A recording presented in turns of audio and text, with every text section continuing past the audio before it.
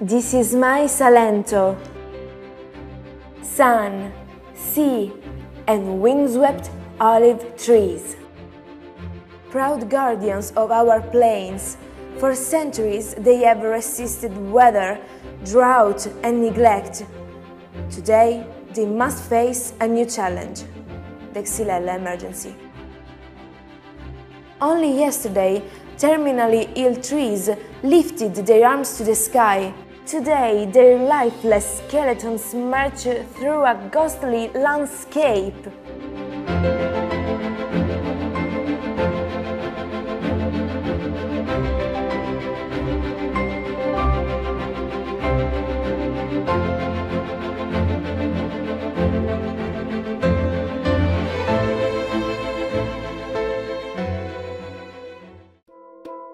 Research has definitively proven that the leaf drying syndrome named Codiro is caused by the Xylella fastidiosa bacteria.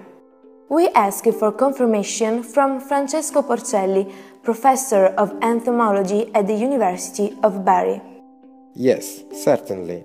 The principal actor in the disease appears to be Xylella fastidiosa, but the name Codiro indicates the specific strain of the bacteria that causes the leaf drying syndrome in our olive trees. So, what is Xylella fastidiosa? It's a bacteria that lives in a plant xylem. The xylem is a part of the circulatory system that a plant uses to transport water and nutrients from the soil into the leaves. The liquid that flows up the xylem layer is called sap. After photosynthesis takes place in the leaves, the sap flows back down to the roots in veins called the phloem. Look at this cross section of a tree trunk. The phloem on the outside is living tissue the xylem, composed of dead cells, is located more to the inside of the tree where it is better protected. What's special about Xylella is that it has adapted to live in a very nutrient poor environment like the xylem. In fact, sap is almost entirely water. How does Xylella spread? The only way Xylella can move from plant to plant is by insects that feed on sap in the xylem. Instead of a mouth, these insects have a sort of syringe connected to an air pump. When they feed on an infected plant, they suck in colonies of bacteria. Then, when they move to a new plant, they inject the bacterial cells into the new plant's xylem. Which insects transmit Xylella in Salento? The only species that has so far shown the ability to transmit the Codiro strain of Xylella is Philaenus spumarius, the meadow spittlebug. Ah, the common spittlebug. Look at this electron microscope photo. Do you see those little lozenge shapes? Those are bacterial cells or aggregates of bacterial cells in the mouth pump of Philaenus spumarius. That's what Xylella fastidiosa looks like. Everyone knows that Philaenus spumarius is native to the Old World, described way back in 1758 by Linnaeus. It has attracted the attention of geneticists for the incredible variety of types, but it was never studied very much because it was never known to cause damage. But now experiments have proven that our spittlebug transmits Xylella fastidiosa from an olive tree to another. So now it's absolutely necessary to understand the biological cycle of Philaenus spumarius. Our data shows the Philaenus completes one generation per year. In this part of Salento, the mild Mediterranean climate allows their eggs, laid in grasses and weeds that previous autumn, to begin opening in late February or early March. The young feed on weeds, then expel excess water and wax to form the spittle. Within this protective covering, the nymphs grow to adulthood. That's why they're called spittlebugs. The spittle guarantees the young a special environment they can survive in. At the end of April or beginning of May, the adult insect leaves its protective coating behind. So, by May, the adults are living in the weeds, aren't they? That's right. But here in Salento, in May, the weeds begin to dry out. Because of this, we think that the adults, who must keep feeding to survive, move up to the crowns of olive trees, where they find both humidity and fresh new buds rich in sap. At the end of August, they return to the weeds, which are now sprouting tender and succulent new growth.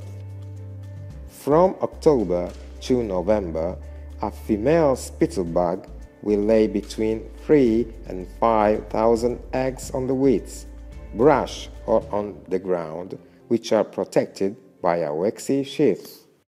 Listen to what we have learned from our friend Daniele Cornara, who has just come back from nine months studying at the University of California, Berkeley, in the lab directed by Rodrigo Almeida and Alexander Purcell. Philaenus spumarius is a lazy animal. He eats sitting down. Although able to fly, when disturbed, he usually prefers to get away by jumping, leaping. That's why he is famous for hitchhiking. In fact, he usually travels on clothing, in carts, or other mechanical mean of movement, whatever the fastest way of getting from place to place. But why do some people still think that the drying out of olive trees is not caused by Xylella fastidiosa? We asked Giovanni Martelli, Emeritus Professor of Plant Pathology at the University of Bari. Who would know better than him?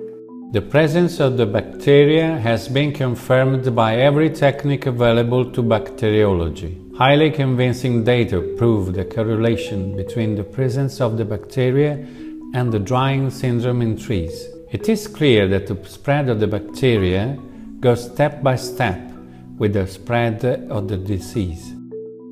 But when did the bacteria come to Puglia?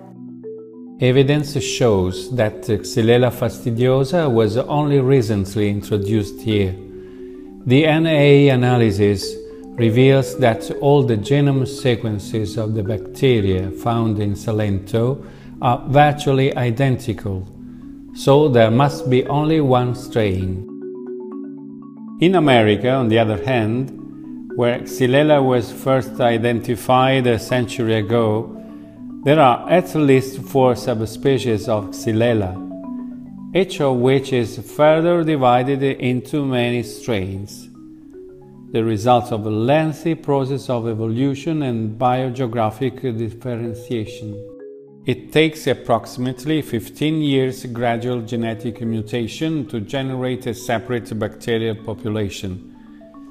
Therefore, if we find only one population here in the area of Gallipoli, it could mean that our Codiro strain was introduced here within the last 15 years. And where did the bacteria come from? Again, the DNA analysis shows that the genome of our strain of Xylella is almost exactly the same as the subspecies that uh, infects oleander plants in Costa Rica. Considering that 42 million ornamental plants have been imported from Costa Rica, it is very probable that bacteria found ideal conditions to grow and thrive in our climate. These invasive organisms are a very worrisome threat.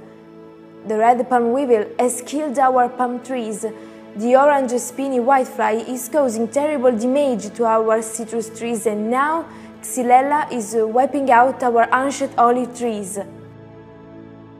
Giovanni Melcarne, coordinator of a growers organization named The Voice of the Olive, is very concerned.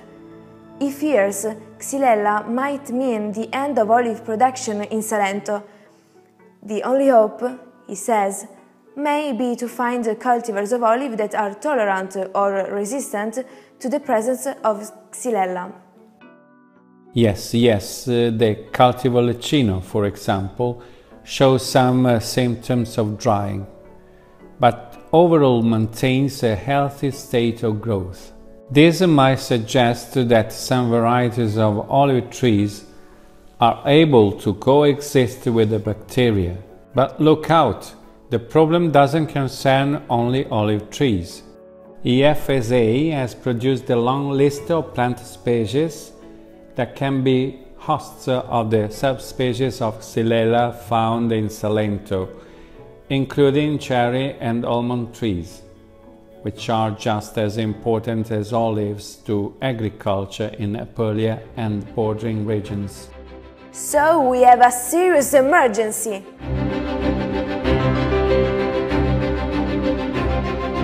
Ah, now I understand why Giuseppe Surico, professor of uh, plant pathology at the University of Florence, uh, dealt in an article with a war to be waged with almost military logic. And everyone needs to take part in this war to restore normality to Salento, so that what is taking place in Salento doesn't take place in other parts of Puglia, other regions of Italy, other European countries or the Mediterranean basin, so that what's happening to olive trees doesn't happen to other plant species. Let's hear the words of Thomas Simpson, a professor at Northwestern University who offers a perspective from abroad. Will we be able to stop arguing and work together in order to get what everybody wants, which is to save the olive trees? Because everybody has the same basic goal. We must do everything we can because these giants symbols of peace and sharing between all the people of the Mediterranean, symbols of strength and attachment to the land, deserve to be saved. It's our duty to try, so the rising sun can forever shine its light on our olive trees. Thank you